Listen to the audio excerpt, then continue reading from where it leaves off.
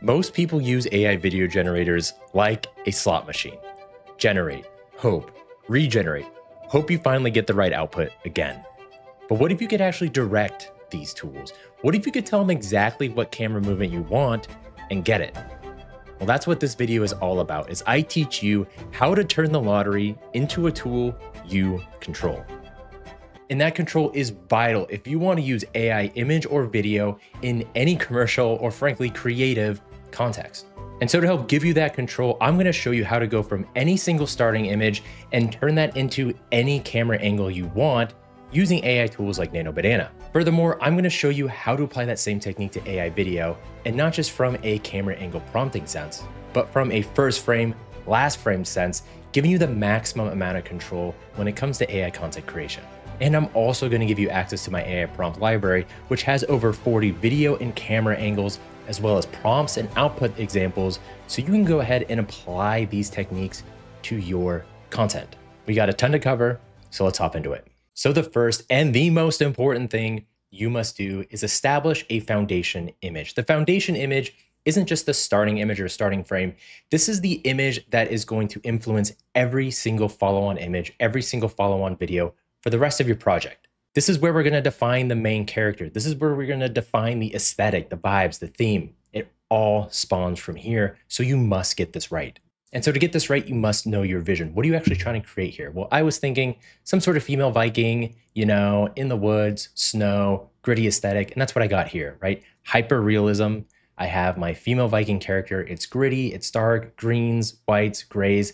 This is perfect for me. So here's the prompt I use to create this foundational image. Don't get too caught up in the prompt itself. What you really need to do is you need to go to AI, you need to go to something like Midjourney, go to Pinterest, find some inspiration, and then head back to AI and have it give you a bunch of different prompts that you can use and iterate upon till you get a foundational image you like. So you've created your foundational image, and now it's time to move on to step two, which is creating different variations of this image, which we will eventually use as starting frames for our videos. But how do you do that? How do I go from this image to this image or this one or this one while maintaining not only character consistency, but scene consistency, the vibes, the aesthetic, everything has to be the same or else we lose touch with where we started. And that's what gets you AI slop or really poor AI videos. How do we do that? How do we maintain all that? Well, the answer is with proper prompting. And this is where most people get tripped up. And this is where this prompt library comes in that I'm giving to you for free. So you can get this by heading to the pinned comment. Just go to my free Skool and then go to the prompt library and you will see a link to this Airtable.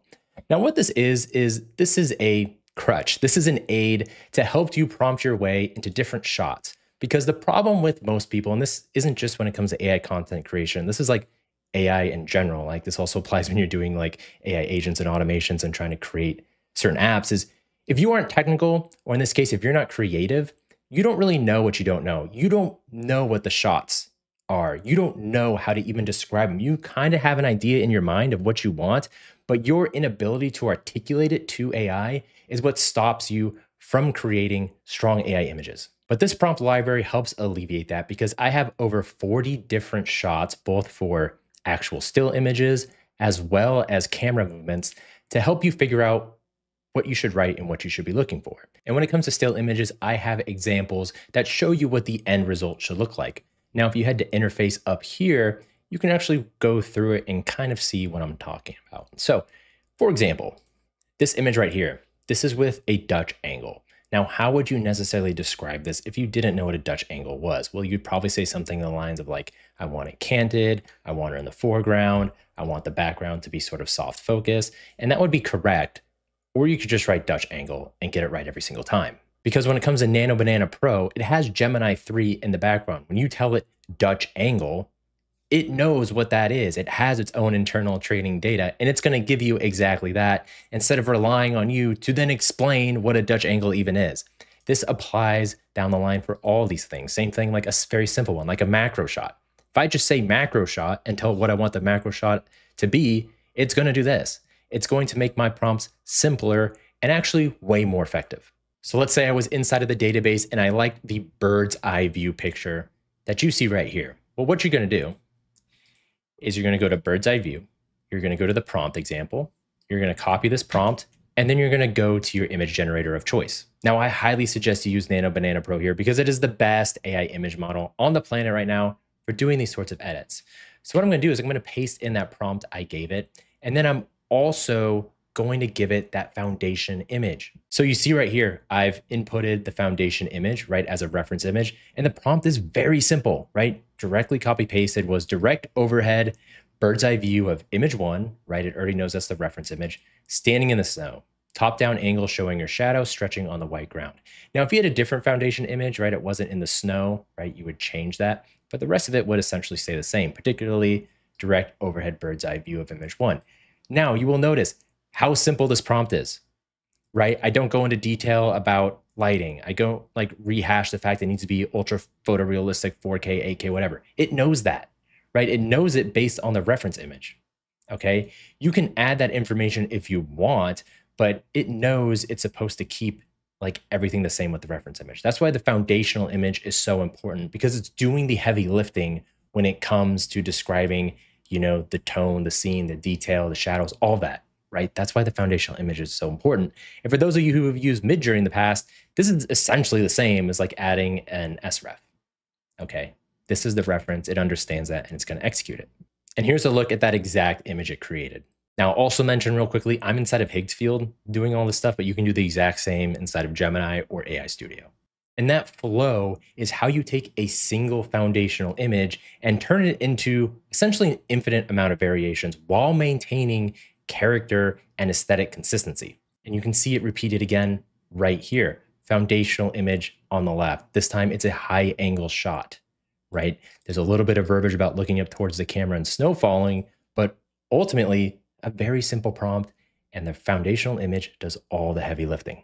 So the limit does not exist when it comes to taking that starting image and turning it to an infinite amount of variations using Nano Banana Pro. The prompt library is a great start for doing that effectively, but it isn't exhaustive. And ultimately, it really just comes down to your imagination.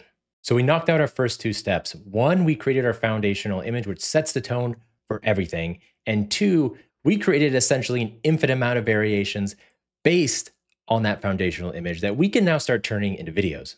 So let's talk about the video creation process. First of all, what sort of tools are we going to use? Well, my suggestion these days is if we are going for something cinematic, we really want to lean on Veo 3.1. And there's two versions of Veo 3.1, right? There's Veo 3.1, and then there's 3.1 fast. I tend to use 3.1 fast because A, it's faster, and B, it's way cheaper, and C, the difference between the two is pretty minimal. Now, not only is 3.1 high quality, but it also gives us the option to do start frames and end frames, which again gives us more control, which is what we are always fighting for when it comes to AI content creation. Now, first frames and last frames are exactly what they sound like. They're going to be the first frame and the last frame of the video we create. So we can control how it starts and how it finishes. What happens in between is a product of A, the prompt, and B, the AI video generation model itself. Now, sometimes all we really need is a first frame. Like you see in this video here, right? I just kind of wanted a scene where it slowly zooms in on essentially this macro shot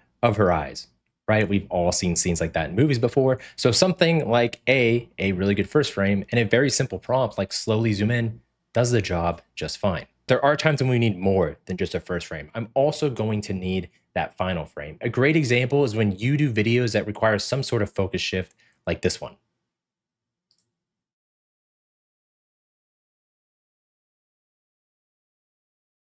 Right? Very simple scene. But to go from this blurry image to this clear image of the woman, especially one that has a ton of detail, right? We see with kind of the mud on the face, requires both. If I were to just do the first frame, it would be a disaster. And here's an example of that. Right? Notice how this woman at the end is not like our foundational image at all. Because what happened? Well, we gave it the first frame, right? This is perfect. But if you don't give it a last frame and you're telling it to, hey, just come up with the Viking woman, well, it's never going to be what you want, right? That's an instance where a final frame gives you a ton of control you just cannot get otherwise. Now let's talk about the prompt for this video, how I came up with it, and what your workflow process should be when it comes to generating prompts for videos where we are using a starting and ending frame. Now, obviously the prompt library is still nice here. I have a number of different movements for video. 21 through 40 is all video based, right? I'm showing you things like static, dolly in, dolly out, handheld bullet time, tons of stuff. But you have to get a little more advanced when it comes to first end frame prompts. So here is how you should approach it. You're going to go to your favorite AI. In this case, I'm using Claude. I use Gemini sometimes too. ChatGPT is okay.